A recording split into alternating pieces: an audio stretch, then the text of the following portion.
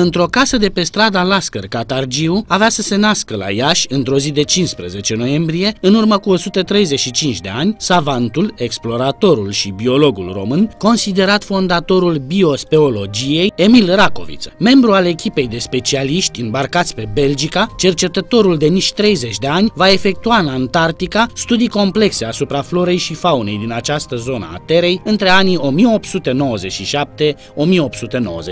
Revenit în țară, țară, după peripeții care pentru unii s-au soldat cu pierderea vieții, Racoviță devine profesor în Clujul anului 1920 la Facultatea de Științe, an în care înființează primul institut de biospeologie din lume. Biospeologia, care l-a atras enorm pe Racoviță, înseamnă studiul faunei din subteran, peșteri și pânze freatice, iar ghețarul de la Scărișoara a fost locul unde cercetătorul român a fost destul de frecvent.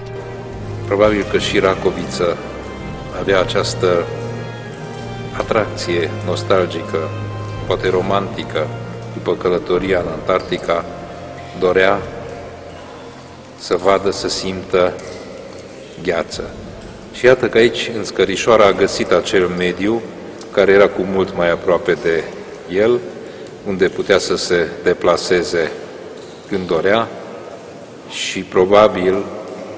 eu cred că probabil aici a retrăit acele superbe și fascinante